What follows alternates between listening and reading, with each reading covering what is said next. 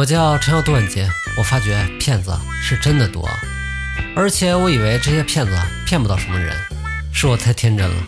从他们数量来看，就可以知道有多少人被骗了。我每天都在说不要贪便宜，为什么你们还上当？这不，粉丝又来投稿了，聊天记录太长了，我就不发出来了。套路也很简单，买号的真的很容易被骗，建议要不然就找必须可靠的人买。否则，再便宜都不建议买。我在游戏上加了这个人，但是一直没等到他，直到第二天才加上。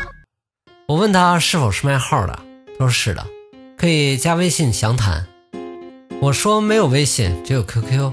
于是我们加了 QQ。他给我发来了账号的时装，告诉我这个是五十的，还有时装更多的一百。这种是典型的骗子卖号、假号、找回号。百分百的上这当的都是想花小钱贪便宜的，没有天生的馅饼啊！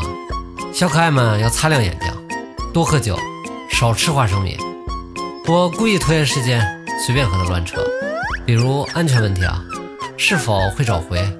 为什么这个这么便宜？等等，他肯定会让你没有顾虑的购买。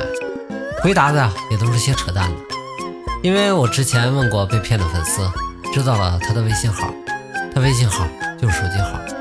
我查了下是某省某市的，然后我忽然发了句语音：“刘队，刘队，帮我定一下位，目标手机号为……目前在我们市，帮查下具体位置在哪儿。”然后我就和小王过去。我等对方估计听完后忽然撤回，对方这个时候显然已经懵逼了。我怎么知道他的手机号？我怎么知道他在哪个城市？这明显不是普通人啊！内心旁白无非就是，我就骗几十块钱而已，至于吗？我这个时候再补一句，发错了，那我支付宝发你行吗？结果他说了句，我不卖了，然后就给我删了。我再打电话，也已经关机了。结果我的打电话录音吓下他的计划也泡汤了。哎，好可惜，今天都做到最后了，才想起来。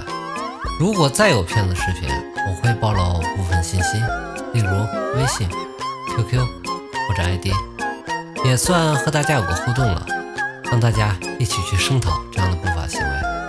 我一个人太累了，大家一起来。